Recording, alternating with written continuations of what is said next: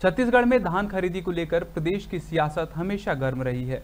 चाहे वह मुद्दा कांग्रेस पार्टी से उठाया हो, लेकिन भाजपा प्रदेश में शासन कर रही है तो कांग्रेस पार्टी प्रदेश सरकार से एक नवंबर से धान खरीदी की मांग कर रही है। वहीं इस पर खेल एवं राजस्व मंत्री टंकराम वर्मा ने कहा कि एक नवंबर को धान कटने के बाद गिली रहती है, उसको कहीं नहीं ले जा सकते। ऐसे में सरकार ने 15 नवंबर से धान खरीदी का निर्णय लिया है और इस समय तक धान भी तैयार हो जाएगा।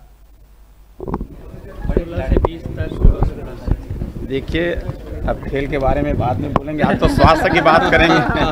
सर ये दीपक भाई जी कह रहे हैं कि एक नंबर से धान है। उनके कहने से क्या होगा एक नंबर को धान गीली रहती है। हम किसान के बेटे हैं किसानी करते हैं अभी भी खेती करते हैं। एक नंबर को धान कटता है तो इतना गीला रहता है कि उसको कहीं ले नहीं जा सकते। पंद्रह नंबर सरकार ने जो निर्णय लिया है स्वागत योग्य है पंद्रह नंबर से धान खरीदी शुरू हो जाएगी और हमारे किसानों का धान भी तैयार हो जाएगा। सत्रह अक्टूबर तक बारिश होने की संभावना जताई जा रही है। किसानों के